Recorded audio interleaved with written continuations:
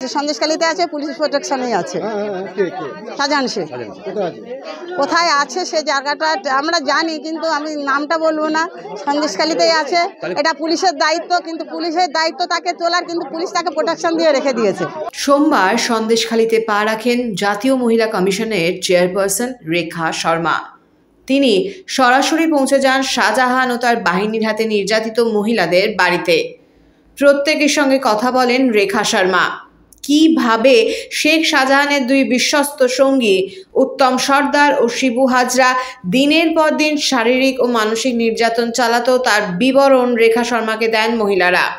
ক্যামেরার মুখোমুখি হয়ে কি বললেন তেমনই এক নির্যাতিতা? করছি উনি আমাদের সুরক্ষা দেবেন।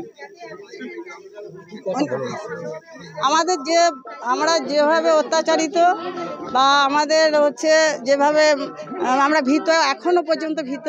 আমাদের সব কথা ওনাকে জানিয়েছি আর আমরা ওনার হাতে একটা স্মারকলিপি তুলে দিয়েছি যাতে আমরা বিচার পাই। আমরা রাজ্য পুলিশে আমাদের কোনো আস্থা নেই যে আমরা রাজ্য পুলিশকে ভরসা করি না।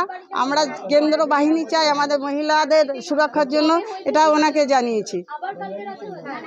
যাতে অবিলম্বে অ্যারেস্ট হয়, তার জন্য ওনাকে জানিয়েছি। কারণ আমরা এখন সন্দেশকালীন মানুষ ভীত, তার জন্য আমরা আপনাদের সামনে আমাদের মুখে কাপড় ঢাকা দিয়ে আসতে হচ্ছে। আমরা বহিরাগত নয় আমরা স্থানীয়। আর যখন তখন আমাদের মতো- আমাদের উপরে ওই শাহজাহান শেখের বাইক বাড়ি নিয়ে এসে আরে আক্রমণ করতে পারে এখনও আমরা সবাই সন্দেশকালীন মানুষ ভীত।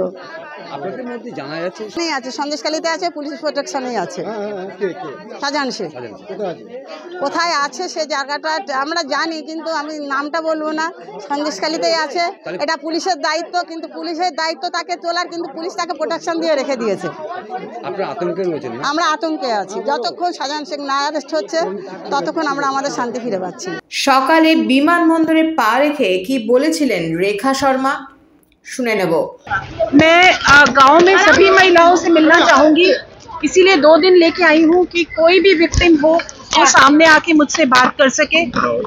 किसी का भी डर नहीं होना चाहिए क्योंकि मैं अपने साथ तीन लोग हम तीन महिलाएँ हैं जो आ रहे हैं।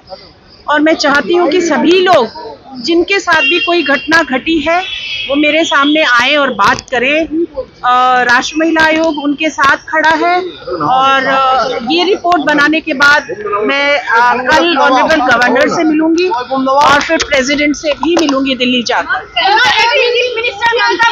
कहा है सिर्फ़ एक ही महिला है एक ही औरत है उसके साथ छेड़छाड़ी हुई है एक है अनेक है ये मेरे जाने के बाद पता चलेगा। एक भी है तो क्यों है? अ, मैंने पढ़ा उनका स्टेटमेंट कि mountain out of molehill molehill क्यों है? क्या पूरे वेस्ट बंगाल में छोटे छोटे मोल हिल्स बन गए हैं? और उन या माउंटेन्स को मोल हिल बनाया जा रहा है। बहुत सारी चीज़ें बाहर आ रही हैं बहुत सारी आवाज़ें आ रही हैं लेकिन उनको दबा दिया जाता है। पुलिस खुद दबाती है एडमिनिस्ट्रेशन सुनता नहीं है। आज भी पता चला है कि डीएम बाहर है जहाँ भी मैं कभी जाती हूँ, डीएम कभी नहीं मिलते हैं एसपी कभी नहीं मिलते हैं। हमेशा ममता जी अपने एडमिनिस्ट्रेशन में ऑफिसर्स को मिलने नहीं देती सेंट्रल एजेंसीज को।